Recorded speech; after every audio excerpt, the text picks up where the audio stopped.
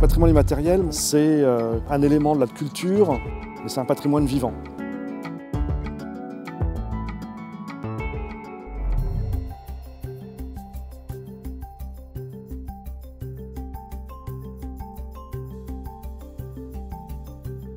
Le patrimoine immatériel, c'est euh, un élément de la culture qui est décidé par ceux qui euh, y participent.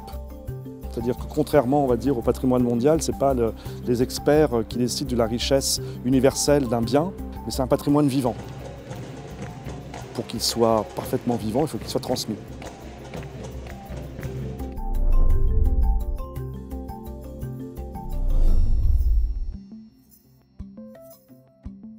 On pourrait dire que ce sont des contes, ce sont des jeux, ce sont toutes sortes de représentations, ce sont les langues, ce sont les expressions orales, c'est la musique, c'est les savoir-faire et c'est un certain nombre de connaissances qui, euh, nous, sont, euh, nous sont propres à l'humanité et qui euh, contribuent à la créativité et à la diversité culturelle de cette même humanité.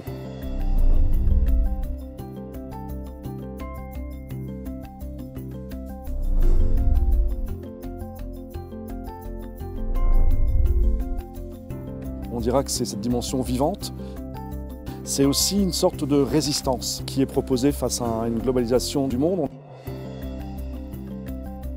Ce patrimoine, il est vivant parce que les communautés l'ont décidé, ils se l'approprient, ça crée un sentiment d'identité fort. Et puis surtout, il y a une profondeur historique, c'est ancré dans la tradition, mais c'est euh, surtout recréé en permanence.